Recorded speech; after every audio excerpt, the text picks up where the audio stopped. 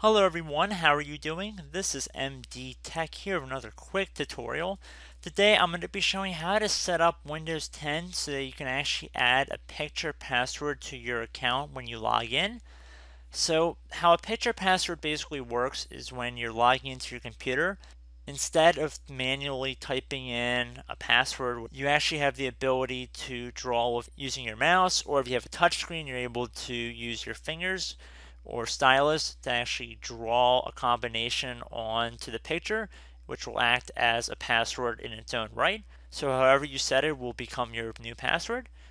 So basically, here's how you do it. We're going to head into our settings menu. And we're going to left click on settings. We're going to go underneath accounts. Then left click on sign in options. And then on the bottom of this list here, or actually not quite the bottom of the list, but near the bottom, it says picture password. Sign into Windows using a favorite photo. Left click on this add button right here. So first you have to verify that this is your account. You have to have administrator privileges in order to do this. So I'm going to type in my password here. So now we have some different options we can choose from in order to proceed. And we can see that it's actually doing a little demonstration on the side here. And if you read the description, it says, Welcome to Picture Password. Picture Password is a new way to help you protect your touchscreen PC. You choose the picture and the gestures you use with it to create a password that's uniquely yours. When you've chosen a picture, you draw directly on the touchscreen to create a combination of circles, straight lines, and taps. The size, position, and direction of your gestures become part of your picture password. So you notice, I'm not sure if you guys realize this, but I'm actually using a mouse. I'm not actually drawing this with a stylus on the computer. So you don't necessarily need to have a touchscreen PC in order to do this. So regardless, let's left click on choose a picture here. So with how copyright laws are nowadays, and I don't want to get in trouble, I actually spent just a little bit of time this morning really um, making a beautiful piece of artwork to use as our picture password and I've saved it to our desktop here.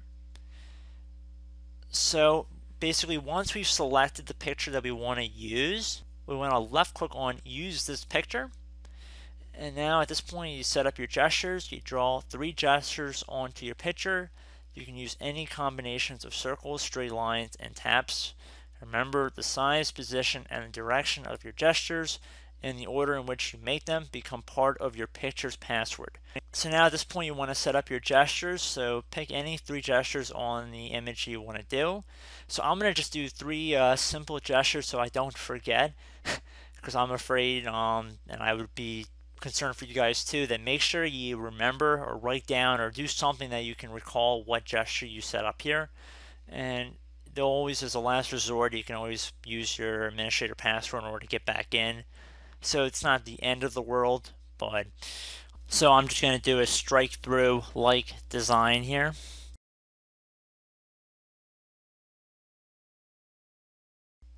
So in order to confirm, you have to go back through it again.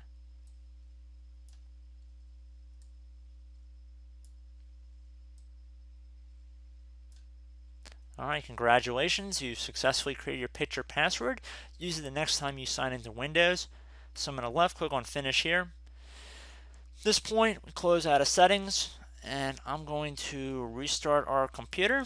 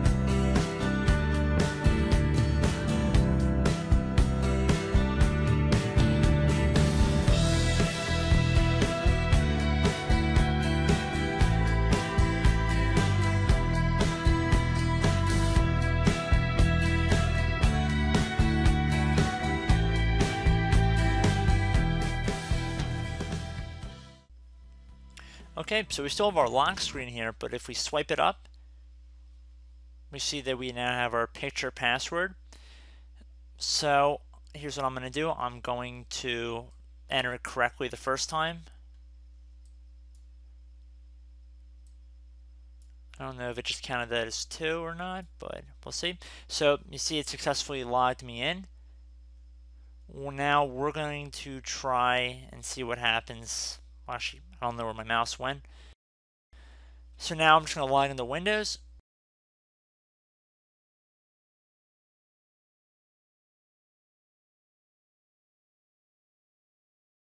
Okay, so I'm going to put the computer into sleep here, and then I'm going to try and wake it back up.